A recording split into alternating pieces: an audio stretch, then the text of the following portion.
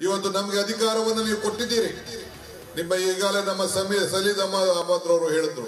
ಇವತ್ತು ನಮ್ಗೆ ಈ ಶಕ್ತಿಯನ್ನು ತುಂಬುದ್ದು ನಿಮ್ಮೆಲ್ಲರ ಸಂಘಟನೆಯಿಂದ, ನಿಮ್ಮೆಲ್ಲರ ಆಶೀರ್ವಾದದಿಂದ ನೂರ ಮೂವತ್ತಾರು ಸೀಟನ್ನ ತೆಗೆದುಕೊಂಡು ಇಡೀ ದೇಶಕ್ಕೆ ಒಂದು ಬದಲಾವಣೆಯ ತರುವಂತಹ ಸರ್ಕಾರ, ಎಲ್ಲ ವರ್ಗದ ಜನರಿಗೆ ನ್ಯಾಯವನ್ನು ಕೊಡುವಂತ ಒಂದು ಸರ್ಕಾರ ಕರ್ನಾಟಕ ರಾಜ್ಯದಲ್ಲಿ ಇದೆ ಅನ್ನೋದನ್ನ ಇವತ್ತು ಹೇಳಲಿಕ್ಕೆ ನನಗೆ ಬಹಳ ಸಂತೋಷ ಆಗ್ತದೆ.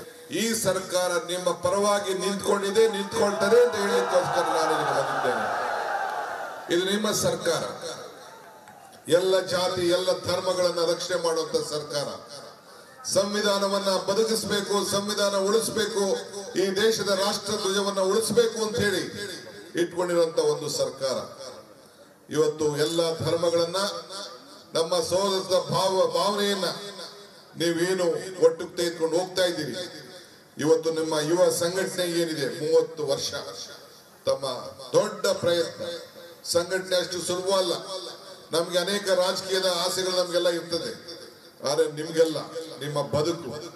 ಇವತ್ತು ಹೊಸ ಈ ದೇಶದಲ್ಲಿ ಹೊಸ ರಾಜಕಾರಣವನ್ನ ಕಳೆದ ಹತ್ತು ಹನ್ನೆರಡು ವರ್ಷದಿಂದ ನೀವು ನೋಡ್ತಾ ಇದ್ದೀರಿ. ಅವರ ಭಾವನೆ ಮೇಲೆ ರಾಜಕಾರಣ ಮಾಡಲಿಕ್ಕೆ ಒಂದು ಪಕ್ಷ ಹೊರಟಿದೆ. ನಾವು ನಿಮ್ಮ ಬದುಕಿನ ಮೇಲೆ ಬದಲಾವಣೆಯನ್ನ ಮಾಡಲಿಕ್ಕೆ, ನಿಮ್ಗೆ ಶಕ್ತಿಯನ್ನ ಕೊಡ್ಲಿಕ್ಕೆ ನಾವು ಹೊರಟಿದ್ದೇವೆ.